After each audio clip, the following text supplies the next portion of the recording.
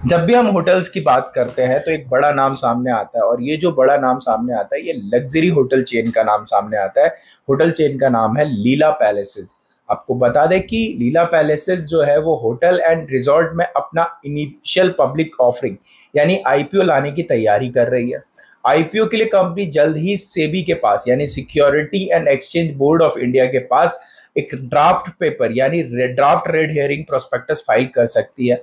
Media reports के according अगर हम बात करें तो कंपनी का जो आईपीओ है, उस आईपीओ के थ्रू कंपनी मार्केट से लगभग पाँच हज़ार करोड़ रुपए का फंड रेज करने का प्लान कर रही है। और देश में इस साइज़ का जो होटल सेक्टर में अब तक का आईपीओ की अगर हम बात बात करें तो ये अब तक का सबसे बड़ा आईपीओ रहने वाला है।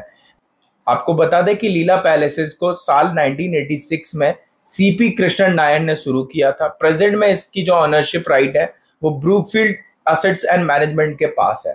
रिपोर्ट के अकॉर्डिंग अगर हम बात करें तो हॉस्पिटलिटी सेक्टर का एक मेगा इशू है। सेबी के पास कंपनी जल्द ही अपने ड्राफ्ट रेड हेयरिंग प्रोस्पेक्टस यानी कि ड्राफ्ट पेपर जो है, वो फ़ाइल कर सकती है।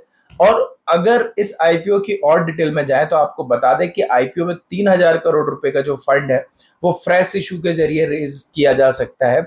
और इसके अलावा जो 2000 करोड़ रुपए का फंड रहेगा, वो ओएफएस यानी ऑफ़र फॉर सेल के थ्रू रहेगा। ये जो 3000 करोड़ रुपए का फंड है, इसका जो यूज़ है वो ग्रोथ कैपिटल के लिए किया जाएगा, जबकि बाकी का जो 2000 करोड़ रुपए का फंड है, इसके तहत जो प्रोमोटर ब्रूकफील्ड है, वो अपनी हिस्सेदारी कम करना चाहती है। ओवरऑल आपको बता दें कि इसमें Kotak Mahindra capital JM financial BofA security Morgan Stanley JP Morgan Axis capital Citi ICICI securities IIFL capital Motilal Oswal और एसबीआई कैप्स सहित 11 इन्वेस्टमेंट बैंक लीला पैलेसेस के आईपीओ के लिए बुक रनिंग लीड मैनेजर रहेंगे।